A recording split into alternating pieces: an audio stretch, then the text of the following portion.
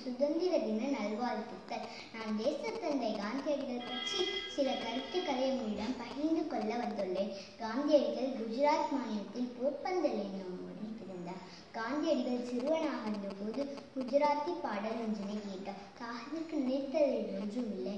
தீமை செய்தவர்களுக்கு நன்மையை செய் என்று அப்பாடல் இன்னா செய்யாமல் அகிம்சை என்னும் கருத்தினை அவர்கள் விதைத்தது உண்மையை மட்டுமே பேசும் சத்தியவானாக வாழ்ந்து காட்டினார். ஆங்கிலேயர்களை துன்புறுத்தி விடுதலை பெறுவதை விட அமைதியான முறையில் அறவழி அறப்போர் முறையினை காந்தியடிகள் தேர்ந்தெடுத்தார். அறவழி போராட்டங்களுக்கு மக்கள் ஆதரவு பெருகியது கதிர் இயக்கம் மது விளக்கு தீண்டாமை ஒழிப்பு ஒத்துழையாமை இயக்கம் உப்பு சத்தியாகிரகம் வெள்ளையனு வெளியேறு இயக்கம் போன்ற அறப்போர் முறையினை மேற்கொண்டு இந்தியா சுதந்திரம் அடைவதற்கு அரும்பாடுபட்டவர் அண்ணல் காந்தியடிகள்.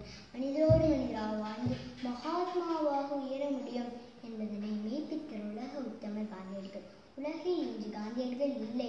ஆனால் அவர் விட்டுச் சென்ற காந்திய கொள்கைகள் இன்னும் உலகை உலகை வழிநடத்தி செல்கின்றன நாமும் காந்திய கொள்கைகளை பின்பற்றுவோம். நன்றி வணக்கம்.